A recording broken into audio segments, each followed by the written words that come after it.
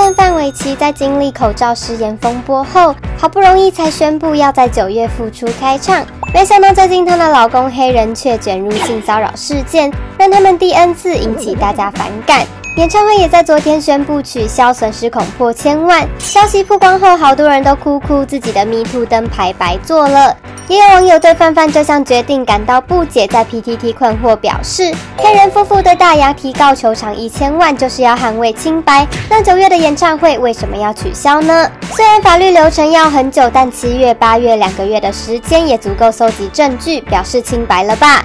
而且证明清白，说不定还能加场开到小巨蛋。质疑他们这么做是默认了。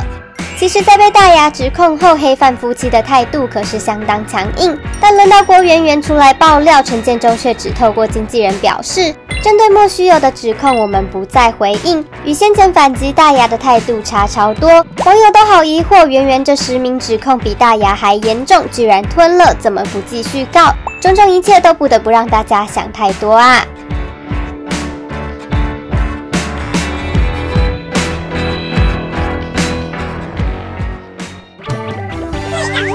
Bye.